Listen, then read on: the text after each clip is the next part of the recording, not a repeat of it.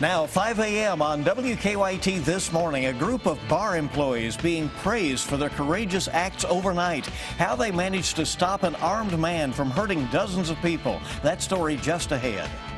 And we have a traffic alert this morning. Police are working to remove a downed tree on a Lexington roadway. Some storm cleanup out there. Also, college could soon be more expensive for students in Kentucky. How tuition increases could affect the future of education. Just ahead.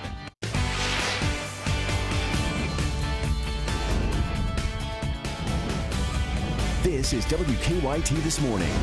Good morning. I'm Meredith Jones. I'm Bill Bryant. So good to have you with us on WKYT this morning, and uh, good to have Meredith in with Thank us. You. for Michelle, who has a day off, uh, who's been filling in uh, for Rebecca. And it's good to have you along with us this morning. We have uh, had some thunderstorms in the overnight hours. Kept me up for a bit last night. it, was, it, was, loud from time to time. Let's check in with meteorologist Micah Harris and see if this is uh, going away. No, it's not going away. We actually have the front right over us. And what that means is, as long as the front is around, that will give way to some showers and thunderstorms as we progress throughout the next 48 to 72 hours. Outside right now, just some showers. Not a big issue, but still heads up for a passing light shower. Early this morning, we're at 61 degrees here in Lexington. 60s all around us, and as we approach the afternoon, 78 degrees. Storms are back in the forecast. Our focus of the forecast obviously, the rounds of thunderstorms. Now, do we look for any severe weather? We had a couple of warnings yesterday. Looks like we could have a, a, another a couple or, or a few today and tomorrow, too. But what about Friday off into your weekend? I mean, do we see a break? Anytime soon. I'm going to have that coming up in a few minutes. All right, looking for that break. We'll see. Let's get to the news now. well, new this morning, patrons looking for a good time got quite the scare after a fight broke out at a Lexington bar. But thanks to some brave employees, nobody was injured, despite the man responsible being armed with several different weapons. Let's go to WKYT's Mark Barber joining us live outside Max Karaoke on Lane Allen Road with the details on that. Good morning. Good morning, Bill. The thief who was swiping money from a donation jar here did not get far because a bartender and a DJ were not about to let him slip away.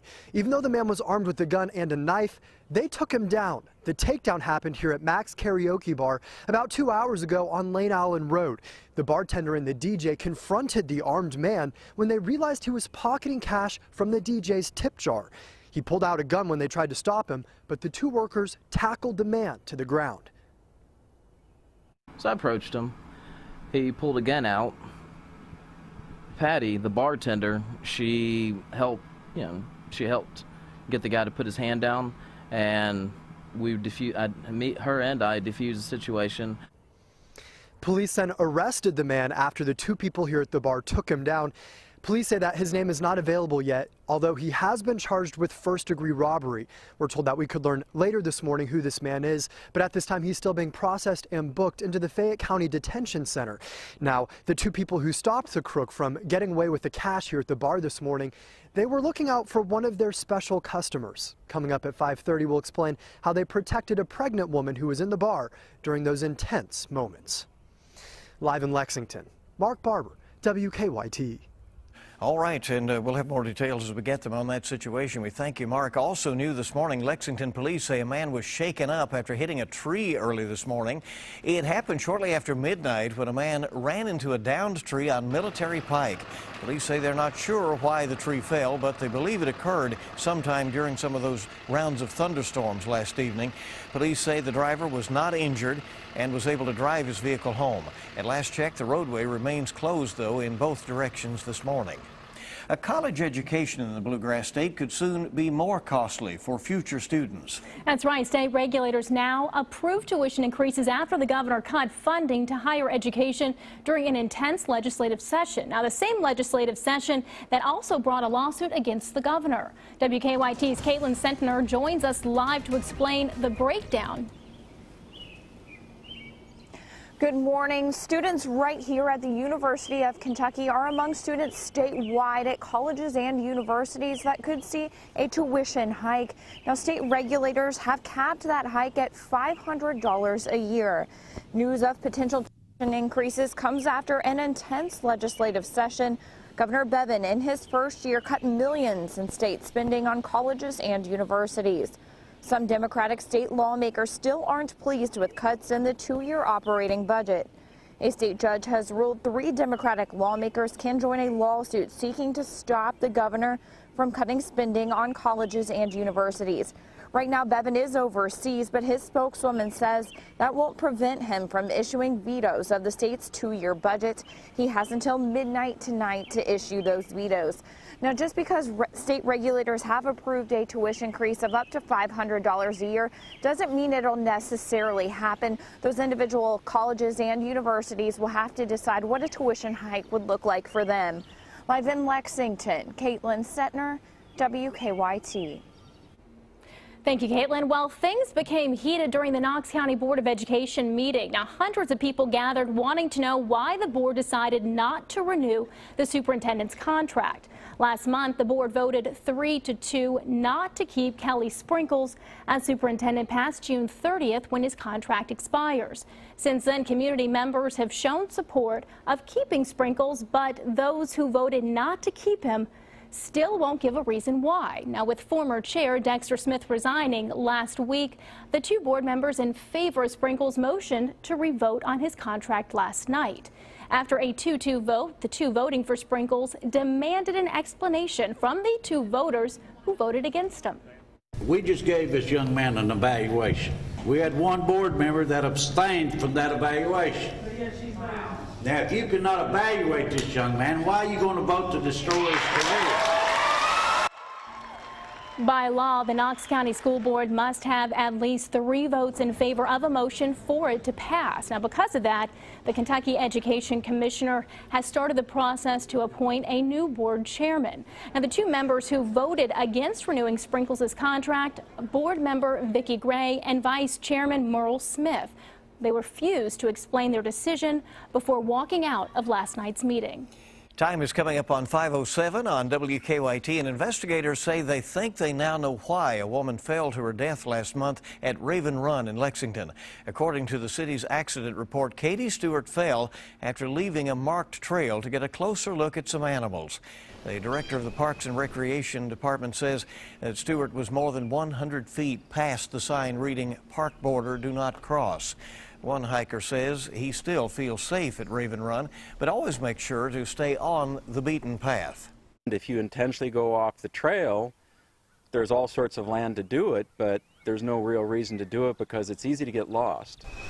Public Safety Commissioner Ronnie Bastin says nothing could have been done differently to save Stewart. The report does mention putting up railings and barriers in the park, but it also says barriers would decrease Raven Run's natural integrity.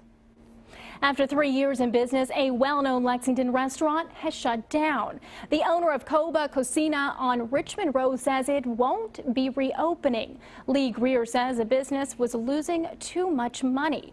But he says he's thankful for all of the loyal customers and employees. Now, if you have a Coba gift card, you still will be able to use it at both Cheddar's restaurants in Lexington or at Willie's locally known on Southland Drive. That closing has uh, intrigued a lot of people. It's our most looked at story on our web this morning, uh, certainly, and uh, it was a different concept. I think a lot of people uh, enjoyed that. It was. It was always amusing to watch the jellyfish, right? it was a sight. Evidently, that didn't pay enough for bills, right? No. Okay. WKYT this morning on the air with all the latest, and it's so good to have you along on your Wednesday morning at now 5:08. A pair of brothers in Michigan have successfully completed their 100 mile walk for a good cause. A look at their heartwarming determination just ahead. We have showers over us right now. We get a bit of a break as we go through the day, and once we hit the afternoon and evening hours, there comes some more thunderstorms. We're going to go over that forecast. I'm going to jot down the timing coming up next. Now, your zone by zone forecast with meteorologist Micah Harris. We have the showers around with a few rumbles of thunder sparking up back toward Bowling Green, but most of that is going to stay pretty much south of us. We're going to see those showers roll on through as we're making our way out and about early this morning. You may run into a few of those, but no real thunderstorm action as of right now. But that's what we're watching as that continues to make its way eastbound. If it does affect our region, if it sticks together, we'll see that right around the Cumberland Parkway as you make your way back towards Somerset. Probably your best bet and south of there. But really, we're focusing in on the west because the west is where most of the energy lies and it's heading our direction. We will get this later on today. None this is a high impact event. It's going to be much like yesterday where we only had about three or four warnings out and about as it traveled on through. And that's pretty much what we're going to be seeing today. A low and severe weather threat once again, but nonetheless, these things are loud as they pass on through, especially the timing on that. It was awful yesterday. Evening and night wasn't good for a lot of us trying to get the kiddos down and trying to get ourselves down, right? So here's the deal. Once we go through the day, we will get big breaks in the action. You'll be able to get out, run some errands. You'll be able to get out to the grocery store, get the kids out and about. But once we hit late afternoon off into the evening hours, here comes some more thunderstorms rolling on through. And like I said, a lot of lightning within these, a lot of heavy downpours. Some of us picked up one to two inches of rain just yesterday. And so we're going to add to that. It was very isolated, but nonetheless, I mean, you, you can see it's very heavy rain. Slight risk back toward the west. That's the best area where you see the, the yellow shade. That's the best chance for severe weather. The reason being because the timing on it. It comes throughout the day. And uh, especially as we head off toward our region, we're talking about a marginal risk. So you can see the legend at the top, slight risk marginal, kind of on the lower end of that severe weather threat, which is okay with a lot of us. Marginal risk around this area. And believe it or not, on Facebook and on Twitter, I had more people say, I just enjoy these thunderstorms, not the severe weather, but just thunderstorms rolling on by. People, some people actually like the thunderstorms. Some people don't. I get it. But some people actually like it later on in the afternoon, off into the evening hours, especially before you go to bed. You don't want to lay down and here comes some storms rolling on through. So today, more storms in the forecast late in the day. Then we hit tomorrow. Guess what? More storms in the forecast. It's just going to be a pretty rainy period as we continue to travel through the next 48 hours. Friday is your day to do all your outdoor activities, knock out some yard work because it will be dry on Friday. Then Saturday, I would say the first half of the day looks mainly dry. Second half of your day is when some storms start to move on in. This has increased a few hours on these particular models the past few uh, few days, so we'll just have to watch that closely, see if it increases in time. Because you got to remember, Keeneland's going on, a lot happening as we travel throughout the next few days. Friday will be packed for Keeneland because that's the day that actually looks mostly dry. Once we hit the weekend, here comes another storm system in the forecast. But it is spring. You expect this. And uh, it's pretty heavy rain out of this. A lot of heavy Mm-hmm. rain as these storms pass on through. So Well, it was uh, calm before it got volatile here. Yeah, that's true. That is exactly We had some right. nice days. We have to We did. that. We did. They'll be back, I'm Yeah, sure. uh, we Sooner. We on that, right? 5:15 our time on WKYT this morning. Yeah, that's right. More than 100 mile piggyback ride to raise awareness of cerebral palsy ended successfully at the Michigan State Capitol. Hunter Gandy started walking last week as if the trip wasn't long enough on foot. He carried his younger brother, nine-year-old Braden, right there on his back. Braden suffers from cerebral palsy, and his brother Hunter did the run to challenge himself along with others to see how hard it is to live with different limitations. Just seeing uh, how he fights through everything and fights through all the hard work that he has to go through and how he does it with a positive attitude. And I wanted to just, uh, you know, try and help him out in some way. Braden ditched the piggyback ride a bit early and completed the last half mile walk to the Capitol on his own. Hunter says their goal is to make the world a more inclusive place. And uh, what a way to start, huh? Yeah, that is. That's incredible though that he, you know, walked that half mile to Yeah. the Capitol. That's really rewarding. Yeah, touching mm-hmm. story. All right, good to have you along with us. Wednesday morning on WKYT. It's Hump Day, and we have all the latest news for you right here. I Hope you'll stay with us. That's right. When we return, we'll have a look at your money. A first for Apple, but not in a good way. And how Lyft is targeting millennials. I'm Jill Wagner, and all of those stories and more coming up in your CBS Money Watch report. Welcome back in. WKYT this morning on the air after the uh, storms of the overnight hours. Hope you got some rest and uh, good to have you along. iPhone sales are slowing. Lower oil prices are hurting big energy companies. That's right. And Lyft commercials, well, they're coming to the TV. Jill Wagner has the latest on your money. Sales of Apple's iPhones are slowing down for the first time ever, with fewer people upgrading their phones. Apple says it sold 51.2 million iPhones in the past quarter, down from the year before. Overall revenue also fell for the first time in a decade. Apple shares dropped in after hours trading. On Wall Street, the Dow gained 13 points on Tuesday, the Nasdaq dropped 7. Lower oil prices are good for drivers, but they're hurting big energy companies. BP says its earnings in the first quarter plunged by 79%, dragged down by low oil prices. The company is also still paying for the Gulf of Mexico oil spill back in 2010. Expenses related to the spill totaled more than $900 million last quarter alone. And ride-hailing company Lyft is rolling out its first national TV commercial. It targets millennials with the message, riding is the new driving. The commercial highlights all of the things that can go wrong as a car owner, from parking tickets to fender benders.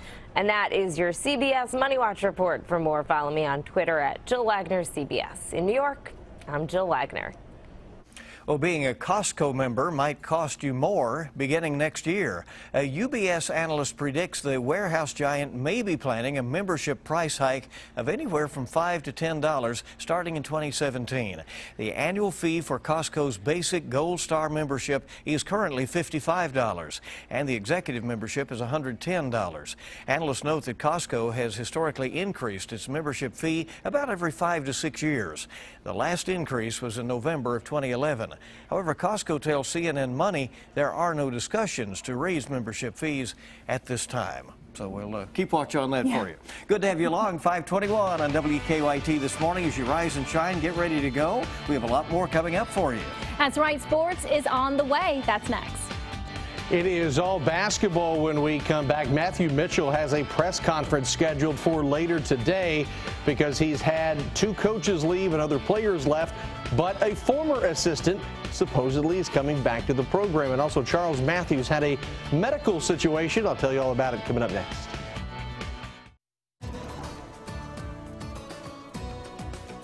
Have a bit of a rain chance early this morning. Scattered showers out and about. A couple of rumbles of thunder sparking up back west of I-65. So not in our viewing area just yet, but we'll watch that closely as it travels eastbound. And look, we're going to go through the day. You will get some big long breaks in the action as we travel through your day.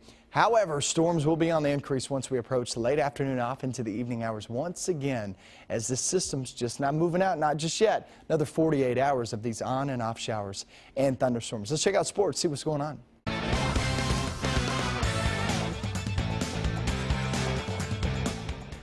Good morning, everybody. The NBA released the draft early entry list last night. And contrary to John Calipari's early comments, it does not include every player on his team. There are five Wildcats on the list.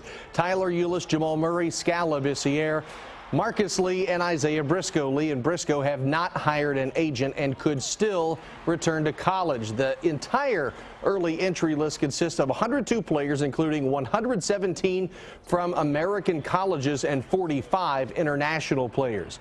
UK card Charles Matthews had a minor surgery, minor procedure yesterday. He posted this picture last night on his Instagram account with the caption, thanks everyone for all the love. Really appreciate it.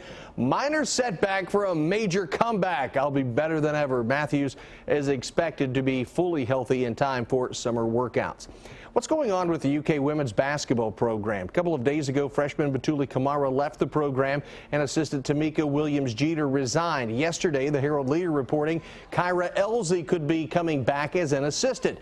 Elzy started Oldham County, left UK in 2012 when she was UK's recruiting coordinator she joined the Tennessee staff where she played. Elzy was an assistant for the Lady Vols until three weeks ago when she left Knoxville. Since the end of the season, Mitchell has lost Adeniyi Amadou and Tamika Williams Jeter off of his staff. Elzy's hiring could affect McDonald's All-American Lindsey Corsaro, who is reportedly reopening her commitment, or recruitment, excuse me. Corsaro committed to the Wildcats two years ago, but is the second commit in two days to announce she was backing out of her verbal agreement with UK. Matthew Mitchell is scheduled to speak with the media this afternoon concerning the recent changes in his program. That's a look at sports. We hope you have a great day.